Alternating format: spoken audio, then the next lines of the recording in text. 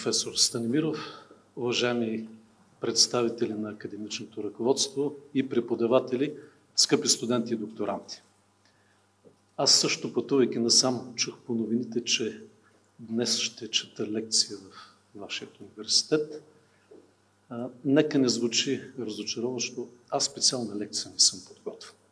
Тук съм на първо място да ви поздравя с тази внушителна 100 годишнина на Висшият университет Варна. Тук съм да благодаря на всички вас, и академичното ръководство, и на вас, студентите, за това, че вие съхранявате по най-добрия начин тези вековни традиции и не само ги съхранявате. Вие ги развивате с визия и поглед към бъдещето, внедрявайки най-модерни форми и методи на преподавателска работа и на достигане до така необходимите за вашето бъдеще знания. Имах така впечатляващ разговор с професор Станимиров, с академичното ръководство. Мога да ви кажа, че аз наистина съм впечатлен от начина, по който вие тук преподавате знания, начина по който насочвате младите хора към бъдещето, начина по който създавате среда. И вие като студенти трябва да сте наистина щастливи, защото тук средата и стандартът са на много високо ниво. Наистина впечатляващо вашата студентска улица и явно вие като студенти дължите благодарност за това, че ръководството на този университет мисли и се е посветило изцяло на вас. Създава отворени програми, интернационално. Защото, както сподели професор Станимиров, нашите ресурси са ограничени. Материални, финансови и човешки. Развитието на съвременна наука изисква много ресурси. Ресурси, с които нашата страна не разполага, за да развие всички форми на знание и наука но само чрез успешно коопериране с други университети, сродни в България, с чужди университети, това може да стане факт.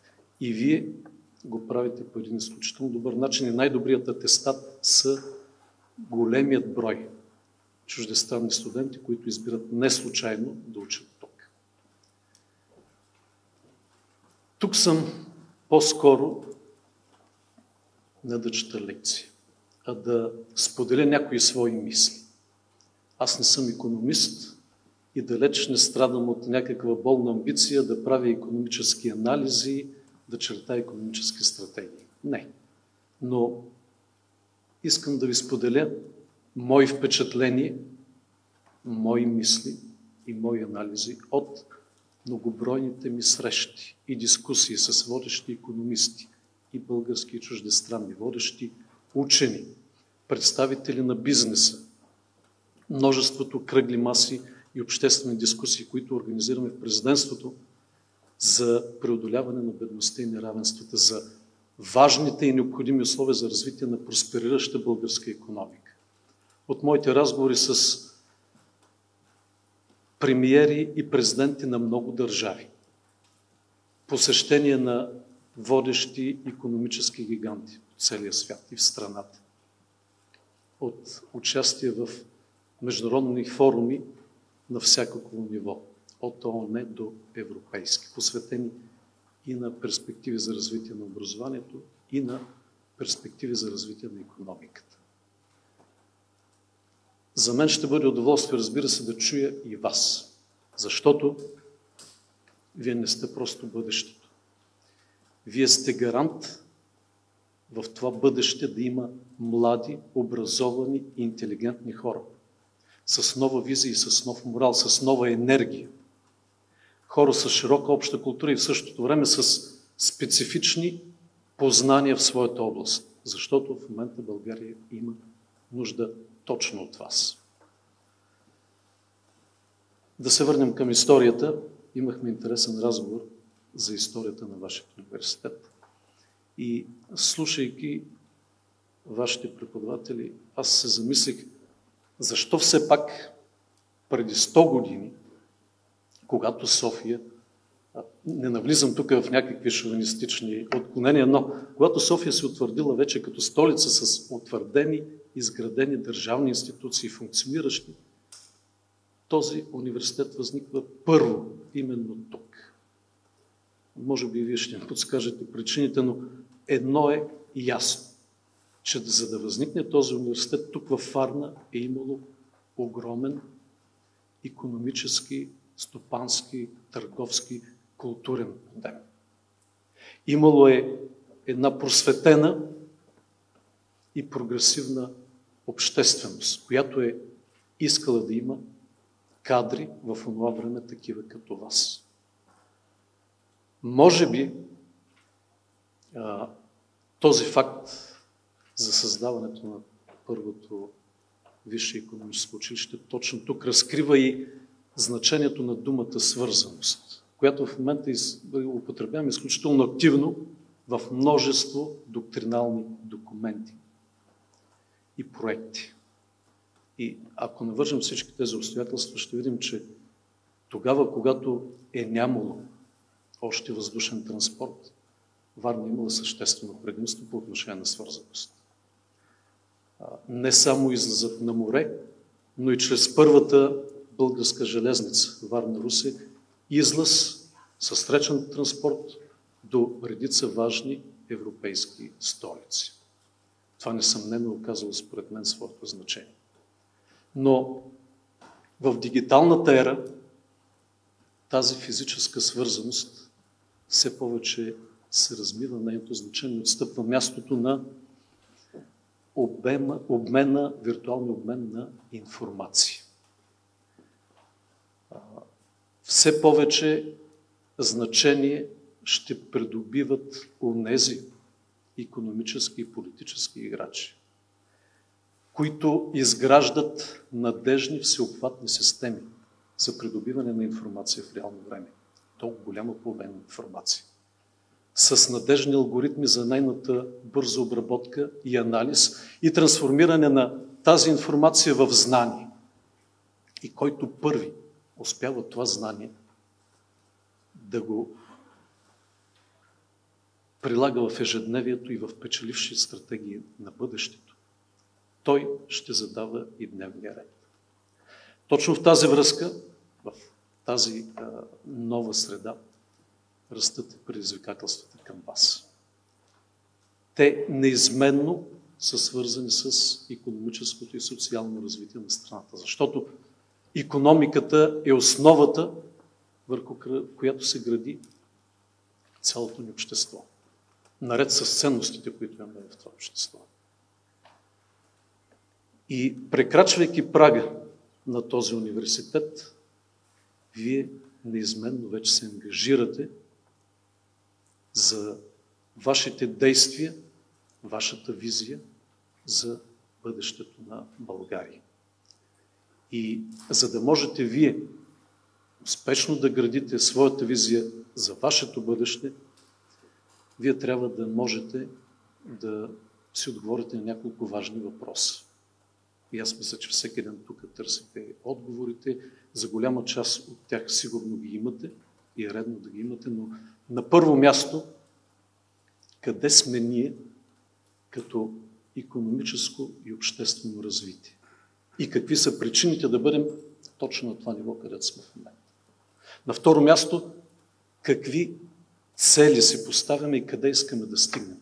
И на трето, много важно, по какъв начин искаме да ги постигнем? С какви приоритети, с какви стратегии, тактики, с какъв инструментариум. Защото можем да вървим по много пътища, но не всички са печеливши. И така, къде сме ние? Това е фундаментален въпрос, защото той е отправна точка на вашите амбиции за бъдеще. И като поколение, и като индивидуални амбиции. Тук не по-малко важни са критериите за сравнение и оценка. Защото ако вземем сравнението с България 20-30 години назад, ние можем да се гордеем с много постижения.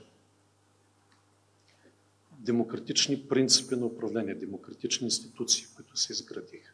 Преход от планово към пазарно стопанство. Членство в Европейския съюз и НАТО. Хармонизиране на нашето законодателство с европейското в редица важни области, включително в економическото развитие. Освояването, не случайно казвам думата освояване, на редица европейски фондове, привличане на чуждестранни инвестиции, създаване на економически зони, развитие на нашето образование в хармония с водещите световни тенденции. Но ако вземем други критерии за сравнение и оценка в областта на макроекономиката, в регионален, европейски и световен план като тенденция за развитие на економика и на обществата, ще видим, че там оптимизмът не е толкова голям. Първо, ако вземем структурата на нашата економика, аз тук нищо ново не мога да ви кажа. Вие знаете най-добре, но това се вижда от всички. Да, износът на България като дел от брутния вътрешен продукт непрекъснато расте. Той вече е по-голям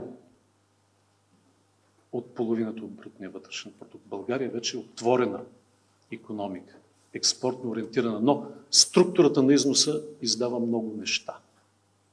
Все още там преобладават суровините, преобладават продуктите с ниска добавена стойност.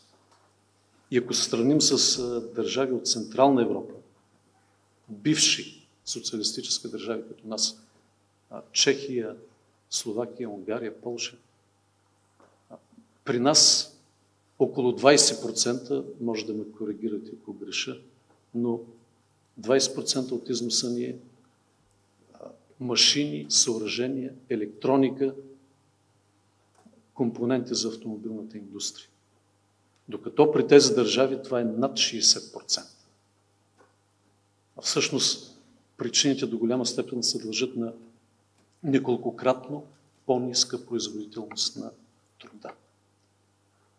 С Унгария, ако вземем, аз съм така често връзка и с унгарски президент и с премьер, ами нашият износ за 2019 година е около 30 милиарда евро. 9 милионна Унгария, нали, сходни като население, е 110 милиарда евро. Тоест, и то при това съотношение вътре. Говорим за структура на економика. Тук можем да се задаваме доста въпроси. Ако вземем като критерий реалният брутен вътрешен продукт, коригиран с инфлацията и неговият ръст, и най-близка контролна страна и географски, и като историческо развитие Румъния, с която в една и съща дата станахме членове на Европейския съюз, можем да видим, че до влизането в Европейския съюз, една-две години след това, траекторията на ръста на реалния брутен вътрешен продукт е една и съща. И след това имаме драстично изоставане, което се задълбочава в години. Същото и с инвестициите. Румъния върви далеч напред, а при нас се очертава, там графиката е хоризонтална, инвестиционна стагнация. Пак ако говорим за структурата на макроекономиката, спомням си наскоро моето държавно посещение в Израел. Между другото, тук как сте с PowerPoint? На всяка лекция ли се използва? На всяка ваша презентация или рядко? Навсякъде. Слава Богу. Защото аз, при да стана президент, идвам от среда, където и в обучението ми в САЩ, особено пък там задължително и изобщо целият ми професионален път, нищо не става без PowerPoint. Както казаха моите колеги американци, ако аз застана прав да говоря и нямам зад мене нещо на екрана, аз не мога да говоря. До такава степен сме свикнали и това е добре. С точни цифри, разчети, графици. И така трябва, трябва да се стремим към точност. Но, поемайки ролята на президент, попадаш в друг свят. Няма PowerPoint. Никъде. Не само тук в България, но на всички срещи, които правим двустранни, в друг формат международен, защото говоренето е на по-високо концептуално ниво. Но защо казвам Израел? Защото когато отидох на това държавно посещение, ме прие и премиерът Бенемин Нетаняхо. И за моя изненада и ми стана много мило, той ме чака с PowerPoint. Да, имаше интересни неща, касаещи сигурността в региона, които обсъдихме и най-добре се виждат там. Но направи ми впечатление последният слайд. Отвъд сигурността на региона. Той ми показа, виж, това е класацията на 10 най-големи световни корпорации 20 години назад. Седем са в областта на енергетиката, и само една в областта на информационните технологии.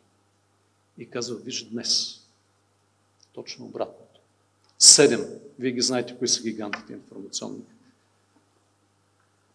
Като почнем от Амазон, Фейсбук, Google и така нататък. Седем са информационни технологии и само една е останала все още в областта на енергетика казва, ние в Израел сме горди от факта, че при нас съотношението е в още по-голяма полза на информационните технологии. А наскоро присъствах на класацията Капитал Топ 100. Е, вие знаете най-добре кои са първите 10 български най-мощни компании. Седем. И то отгоре надолу в областта на енергетиката. Две в търговията, една в рододобия. Връщаме се 20 години назад. Тоест, ние говорим за състоянието вътре. Говорим за структурата на нашата економика. Нищо лошо за енергетиката. Напротив, енергетиката е изключително важен отрасъл. Една държава не може да се развива, ако няма надежна енергетика. Но вижте тренда. Къде отиват другите държави? Това, което четете, което стана преди два дни в Гърция, обявяването на инвестицията на Microsoft. Значи тук има много какво да се работи. А, защото информационните технологии дават съответно и информационно превъзходство. А няма какво да крием, светът е едно голямо състезание. Това е една голяма арена, на която държавите се конкурират. Кой да определя дневния ред? Кой да концентрира повече блага? Какъв е резултата? Резултата, ако го гледаме в европейски план, и това го знаете, ние сме най-бедната страна с най- големи социални равенства. Коефициентът Джини миналата година вече стигна 41 единици. Това е рекорд за нас от Втората столна война насам. Рекорд е за Европа, където средният коефициент на Джини е около 30 единици. Затова това е един от проблемите, който първостепенно трябва да адресираме и да решаваме. България трябва да се бори активно с бедността и неравенствата. Защото бедността ражда престъпност, ражда неграмотност, ражда корупция, а това дълбоко социално разстояване ни пречи в значителна степен да се обединяваме като общество около значими национални цели.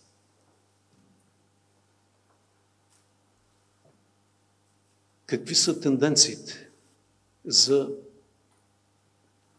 излизане от това положение. Първо, много са причините да стигнем до тук. Аз изобщо не искам да спирам, защото вие ги знаете, предполагам, по-добре от мен. Но тенденциите да излезем, какви са според вас и кога? Този въпрос живо ни интересува. Кога ще се усети този тласък, оттласкване от най-низката позиция по бедност и неравенства в Европейския съюз. Ами, аз мога да съдя по косвени признаци.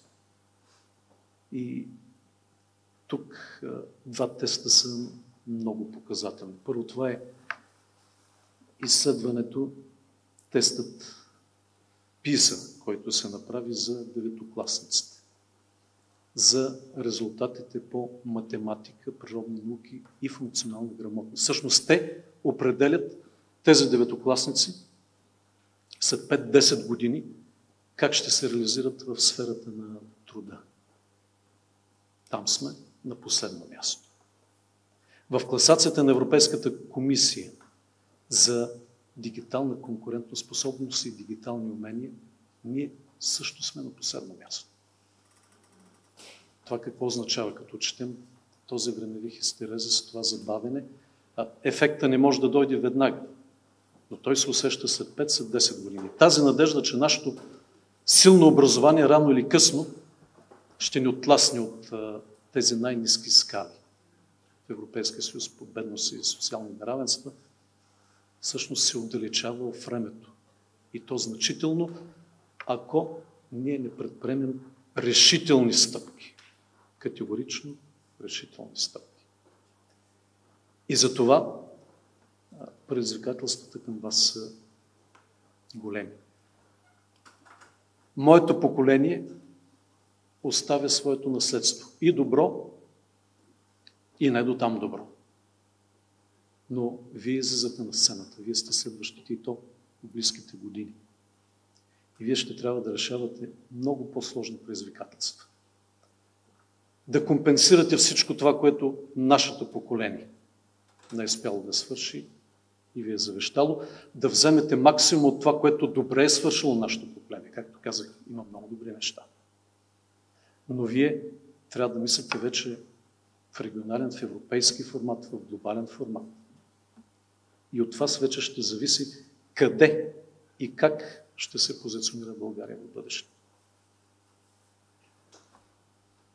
Затова и най-важно е всъщност вие какво ниво на амбиция ще се поставите. Лично за вас, като лично и професионално развитие и за обществото, в което вие ще живеете.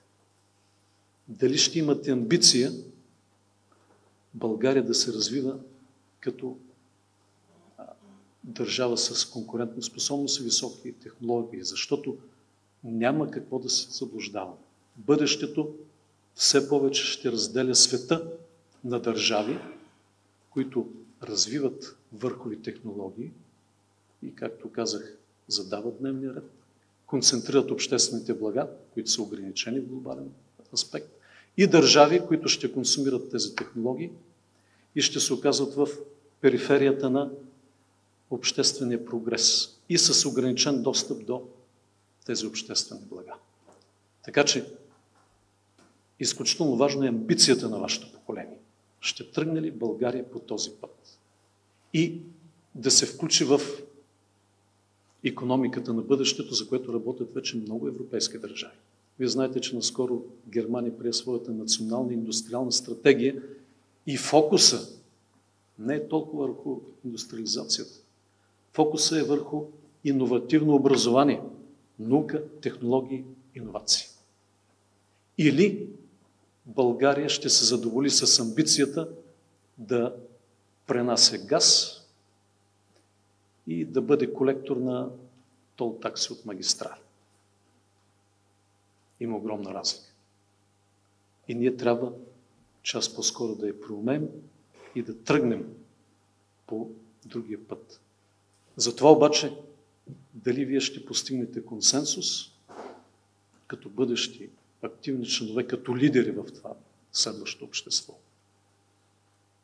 Да се мобилизират нашият научен и образователен капитал. Да се вземе максимума от изключително талантливите млади българи. Винаги сме топ 5 на световни олимпиади. Малка България, световни олимпиади по математика, информатика, лингвистика, химия, физика и така нататък. Дали пръснатата българска научна диаспора ще може да се обедини. Дали ще има амбицията като общество да привличаме обратно наши млади учени тук в България. Наскоро връчих наградата Джона Танасов на млад български учен в университета в Йейл с революционен пробив в областта на квантовата физика. Това е невероятно научно постижение, което ще определя от тук нататък съдбата на квантовите компютри. А това ще има сериозни последствия. За разпределението на силите в света. Говоря сили от всякакъв характер. Защото без дигитализация нито една област и в науката, и в обществения живот вече не може да се развие. Дали вашето поколение ще има амбицията и ще приложи нещо от модела на leapfrogging. Знам, че изучавате и тази теория. Всъщност, възхода на държави като Израел, Сингапур, Южна Корея, които са приели този модел за своя кредо, които, като видим изходните условия, те много приличат на нашите. Ограничени ресурси, ограничена територия, но са приели, че най-важният капитал за страната това е човешки. Приоритетно това е образованието. Меритокрацията – задължително условие за държавната администрация. Агресивно привличане на инвестиции, създаване на благоприятна инвестиционна среда. Можем сега да ги видим къде са и също преодоляване на една психологическа бариера. Най-добре идеологът на съвремен Сингапур, премиерът от 60-70 години Ли Куан Ю е формулира последния начин. Моята първа задача беше да осъзная и да убедя всички мои съграждани, че никога не трябва да допускат aid dependent mentality. Тоест, ако искаме да имаме успех, не трябва да зависим от чужда помощ. Разбира се, ние сме в една друга среда. Ние сме интегрирани в Европейския съюз. Надявам се още по-пълноценно да продължим с ваша помощ да се интегрираме. Но винаги трябва да е ясно, че каквато и помощ да идва, ако ние нямаме вътрешна мотивация, амбиция, движеща сила отвътре, тя ще бъде разпилявана. Дали вашето поколение ще търси рационален баланс между инвестиции на обществен ресурс в инфраструктура и човешки капитал. Аз бих желал да видя България с друго съотношение, където инвестицията в хората да бъде приоритет. То категоричен приоритет. Ако искаме ние да вървим по този път на високи технологии, на просперитет, край на краищата на успех.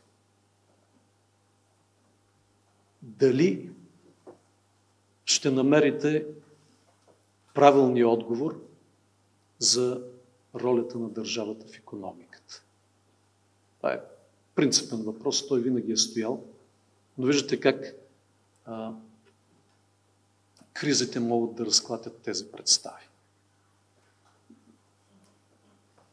Пълната свобода, на пазара може да доведе до криза в сигурността, както става с... Говоря сигурността за здравето на хората в случай, както стана с кризата с COVID-19. Но обратното, обратната тенденция за тотален контрол върху, на държавата върху а, бизнеса също не е решение. Защото това води неминуемо до изкривяване на пазарните отношения. Така че този проблем ще стои пред вашето поколение. Тук ще трябва да има много гъвкавост, изпреварващо мислене, изпреварващи действия. Дали много от вас ще отидат в частния бизнес, много от вас в администрация, по някое време може да сменете местата, както това става в редица държави. Но Другото предизвикателство това е да направите така, че държавата има форми да участва. Те са много ограничени в едно пазарно ориентирано стопанство. Но има механизми държавата да влияе върху структурата на економиката, върху характера на отношенията в тази економика. На първо място чрез образованието. То трябва да бъде стратегически национален приоритет. Категорично. Ето по този начин държавата може косвено, но много силно да влияе. Механизмите, по които държавата разпределя обществен ресурс, чрез обществени поръчки, също влияе. И когато се строят и ремонтират магистрали, пътища, язовири, и това става без обществени поръчки, без конкурс за най-добри условия, без гаранция, държавата стимулира една система, която е непрозрачна, невидима, изяжда огромна част от този ресурс и изкривява пазарните отношения.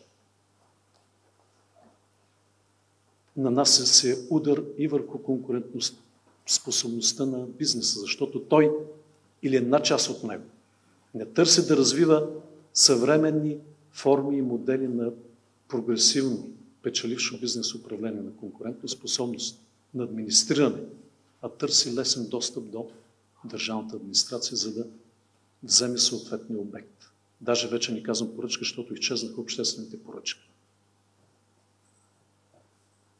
От това ще зависи. Моето категорично мнение е, че този модел трябва да се премахне. Той разбива, още веднъж казвам, разбива конкурентоспособността, изкривява всички пазарни механизми.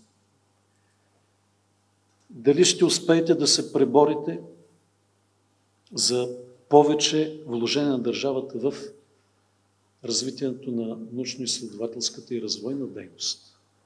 Процента, който към момента влага държавата е далече под средната изискуема норма за Европейския съюз. И добре, че частни бизнес е по-големият вложител там. А България на иновационната карта на Европа се води в графата плах иноватор. Точно така е и термина. А между другото, това не е проблем само и за България. Това е, мога да кажа, европейски проблем. Защото ако отворите статистиката и видите броя на регистрираните патенти, на първо място е Китай, ако не се лъжа, Штатите, Япония, Южна Корея и целият Европейския съюз е след Южна Корея. Това също е огромен проблем. Огромен проблем е, че в редица държави от далечния изток от 4-5 години децата почват да учат, забележете, не информационните технологии, как се включва компютъра, къде е Windows, Word, PowerPoint. Не, те почват да учат програмиране. Значи след 15-20 години какво ще стане? Как ще се е, мерим с тези държави? Говоря общо и за не само България, за Европейския съюз. Дали ще имаме амбицията, освен да върнем нашата научна диаспора тук, или да се обединим заедно, дори дистанционно в някакви важни, водещи за нас проекти, дали ще откроим област, която да бъде решаваща за България. Беше ми наскоро на гости сина на покойния вече израелски президент, пак Израел цитирам, така се случва. Има защо. Шимон Перес. И той ми подари книгата на своя баща. Казва се Няма място за малки мечти. Ако не ви е попадала, съветвам да я вземете. Защото това е една чудесна сплав от лидерство, економика, сигурност и наука. Там описва седмия случай Шимон Перес около 2000-та година, когато вече е създадена необходимата научна инфраструктура, изследователска инфраструктура, образователна инфраструктура. Събират се, вече имат достатъчно капацитет, учени, държавно ръководство да мислят на къде да поемат. И две важни направления. Едното е стартапите, другото е нанотехнологиите. Защото Шимон Перес пише следното. Ние видяхме, че сме изключително малки като география на фона на земния глобус. И всъщност ще ни отива ние да започнем да водим агресивно изследване и проучване и работа в областта на нанотехнологиите, на микроскопичните технологии. Но сега докъде се стигна? Този, който владее най-миниатюрните технологии, той всъщност владее много от аспектите в глобален мащаб. Резултата от тази консолидация на държавно ръководство, на научен и изследователски потенциал, днес Израел е трети на борсата на високотехнологични компании NASDAQ, след САЩ и Китай. Сходни сме по население. За природни ресурси да не говоря. Ето това е силата на науката, силата на образованието. Не искам да давам повече примери. Аз искам да дам и а, думата на вас, но ще завърша със следното. Вие имате важна двойна мисия. Тя е равнопоставена. Първата мисия това е вие да се реализирате като личности и в своята професионална област. И там ви желая успех. Но втората не по-малко важна мисия е вие да се реализирате като активни, търсещи, непримирими, достойни граждани на България. Защото всичко това, за което говорим, и образование, економика, наука, бизнес, така нататък, каквито и економически, финансови, данъчни модели да развивате, да разработвате и да прилагате, ако няма няколко условия за нашето обществено развитие, те няма да се реализират. Или няма да доведат до успех. На първо място, ние така трябва да бъдем отговорни като общество, че да градим ефективно държавно управление. Прозрачно, отчетно и отговорно. Да градим механизми, които отстояват принципите на правото държава и защитават собствеността, за да има сигурност за бизнеса, да има сигурност за инвеститорите. И много важно условие да градим механизми, с които гражданите да имат по-голямо участие в управлението и контрола над управляващите. Така че аз мисля, че последните десетилетия ние абдикирахме от тази втора мисия, като личности, като общество. Затова и днес стигнахме до тук. Аз пожелавам вие да бъдете много по-отдадени, търсещи, непримирими, бих казал дори агресивни в преследването на своите цели, но не забравяйте никога, че вие сте призвани да работите за България. Не забравяйте никога нашите ценности, които ние като народ сме градили от векове. Не забравяйте и ценностите на основоположниците на вашето висше економическо учебно заведение. Желая ви успех!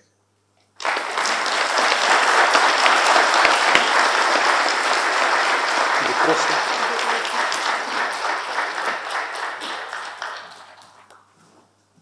Ако имате въпроси, не само въпроси, вие нещо да споделите, аз ви казах, че ми е интересно вие какво мислите.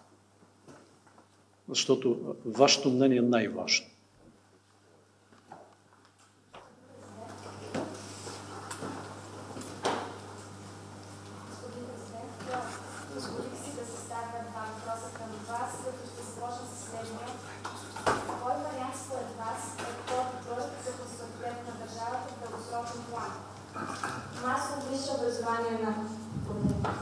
На нацията или лимитирано такова с по-високо качество? Най-добре да ги съчетаем и двете. Това е, според мен, една цел, към която трябва да се стремим. Защо?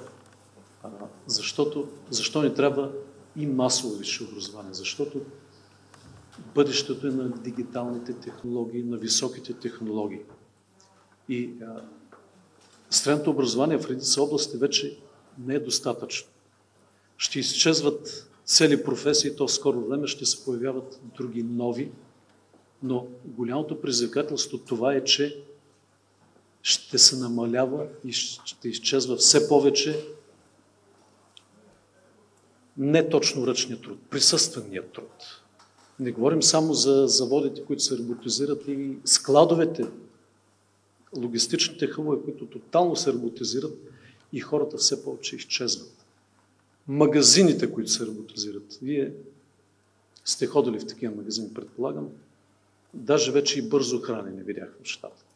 Просто минаваш, вземаш, накрая всичко сканира автоматично, картата показваш и, и няма продавачи.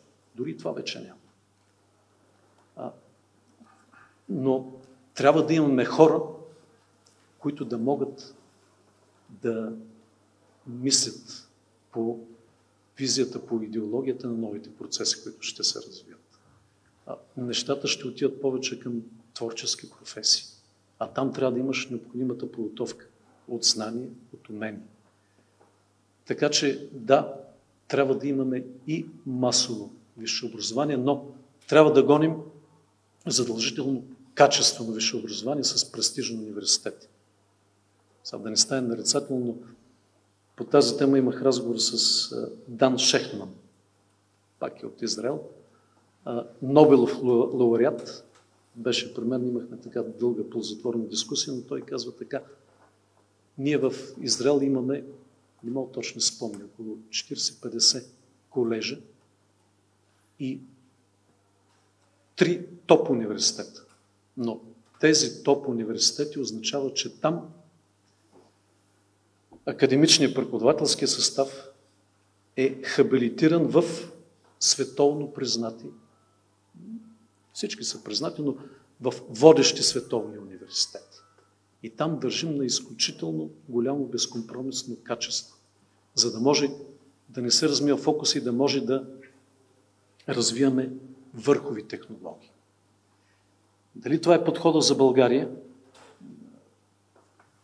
Трябва да го подложим на един сериозен дебат с академичната, с студентската общност. Това означава, че а, държавата трябва да се ангажира с структурирането на водещи университети, които да дават гарантирано качество като човешки продукт. И в същото време да развиваме и другите, защото това е бъдещето. Висшето образование ще става императив за много хора.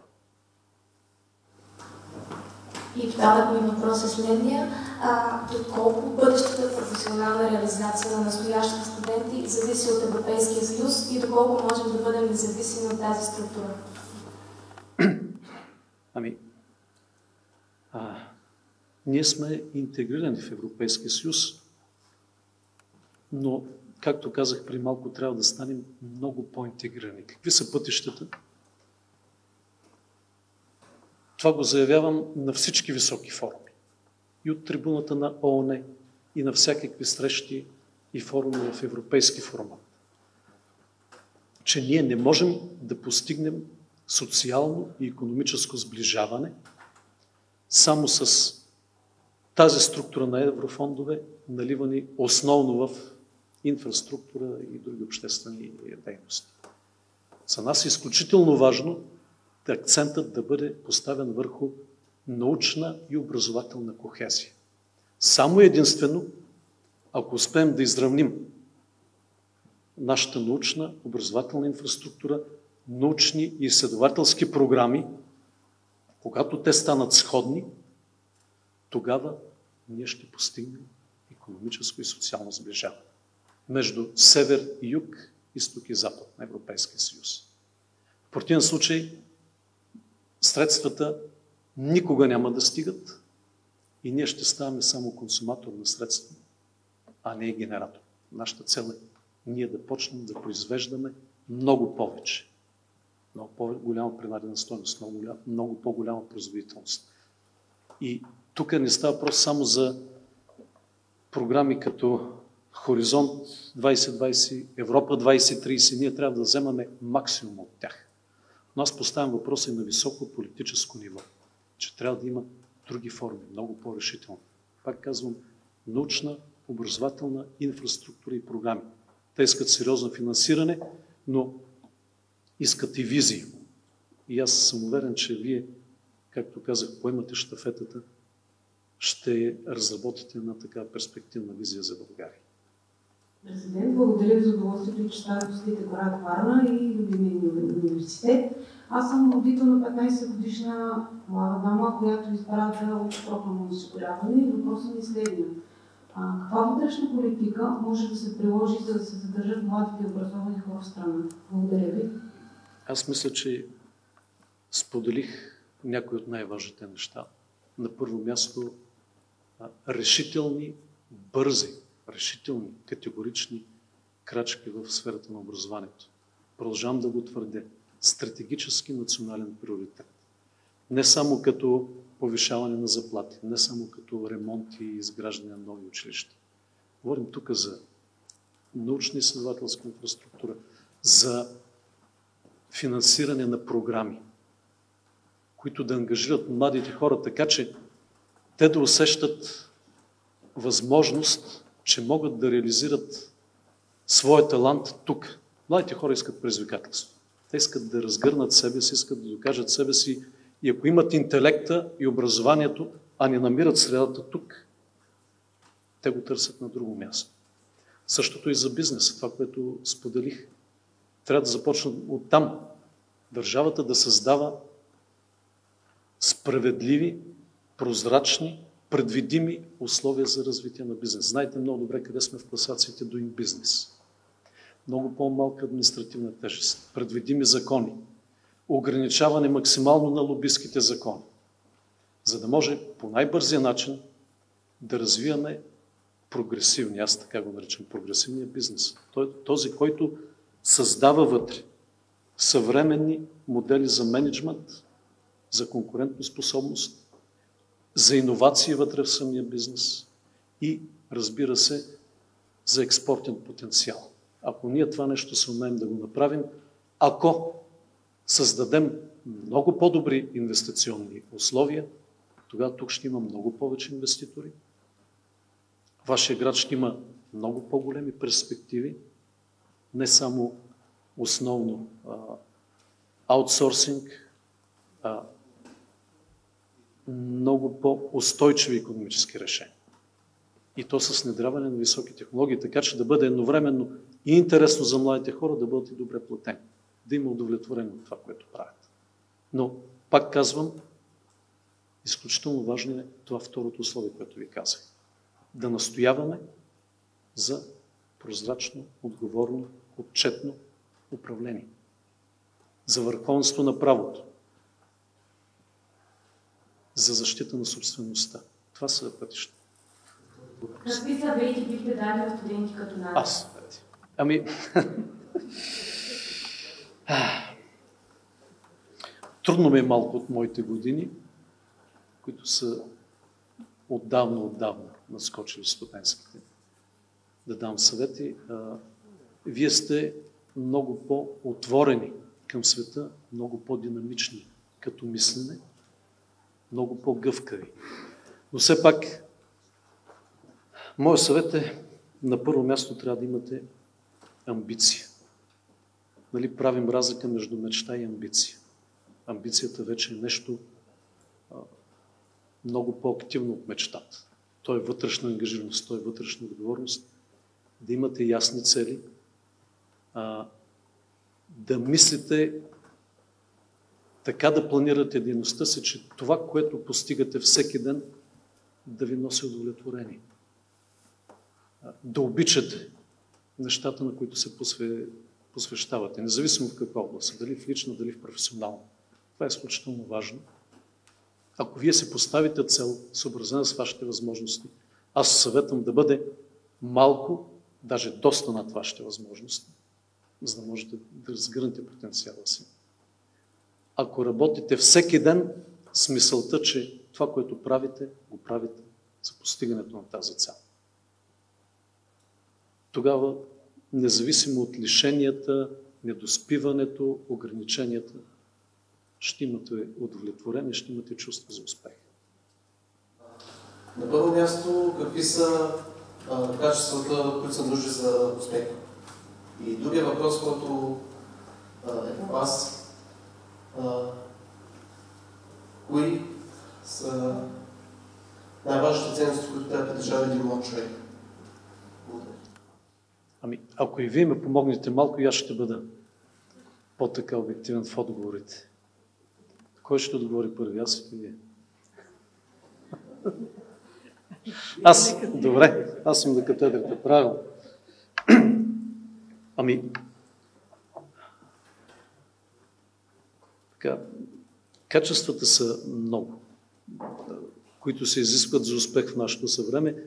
Пак казвам, зависи каква цел си поставяте. На мен идва сега на ум една сентенция на Чърчил. Никога не се предавай. Никога, никога, никога не се предавай. Ако посветите всички ваши усилия на тази цел, вие сте тук хора не случайни, имате всички необходими качества, така че пред вас са отворени много врати. Може да се реализирате в много области. Но мога да ви споделя мой опит. С течение на времето а, вашата цел и вашият критерий за успех също ще се трансформира. Това е категорично. Мога да ви дам пример със себе си, една съвсем далечна област от вашата, но когато учих в математическата гимназия, преди това си бях поставил важна цел. Една единствена. Да кандидатстват и да ме приемат за военен летец. Изтребител. Бях чел много книги, гледал филми и така нататък. Мечта. Когато ме приеха, аз водих желязна подготовка и спорт, и математика, всичко необходимо, това беше най-щастливия ден в живота. Тогава. Последствие обаче следват много предизвикателства. Започва теория, обучение, сложни. Започва една много тежка летателна подготовка. И всеки се пита, ще мога ли, ще издържа ли, защото нещата там са много сложни, много комплексни. След това следва друга цел. Тя върви заедно с другата, да оцелея. Защото риска е винаги навсякъде. Когато преодолееш и това безпокойство идва най-голямата цел – да стана много добър летец. Ставаш много добър в една област, пилотаж и така нататък. Но когато искаш да станеш такъв, че във въздушен бой да побеждаваш, когато и това постигнеш, се казваш, вече няма какво да постигнем. Тогава обаче идва тази втора мисия, за която ви говоря. В един момент нататък, а това вие ще, вие ще работите в различна среда, но винаги ще се налага да работите с хора и да ръководите хора. Не просто да ги ръководите, а да ги водите, така нареченото лидерство. Тогава при мен дойде другата цел. Имаш вече подчинени. Имаш обучаеми, ставаш инструктор. И много по-важно изведнъж осъзнаваш, че първо трябва да направиш така, че те да оцелеят, да не загинат, второ да станат много добри. И когато тези хора станат добри, имаш няколко, двама, трима подчинени обучаеми, ти си адски щастлив. Следващата стъпка обаче вдигаш се на следващото ниво и виждаш другото предизвикателство. Направиш така, че цялата твоя скадрила и по-голямо обединение да могат да бъдат добри. Когато накрая застанеш начало на една организация, както и в случая вашият ректор, и си поставиш задачата да създадеш условията, така че хората под теб да успеят да се реализират по най-добрия начин. Мога да ви кажа, че ако успеете, удовлетворението е най-голямо и успехът като вътрешно изживяване е безспорен. Така че имайте своята еволюция, преследвайте своите цели, своите мечти, своите амбиции, но не забравяйте, че идват и още предизвикателства и че можете и още, и още, и още. Мислете перспектива, мислете предизвикателно. За мен беше истинско удоволствие. Пожелавам ви да продължавате да се гордеете, че сте тук. Има защо. Обречени сте на успех. Благодаря.